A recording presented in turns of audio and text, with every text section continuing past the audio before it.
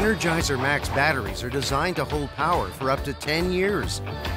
With the help of Power Seal technology, you'll always have power when you need it most. That's positive energy.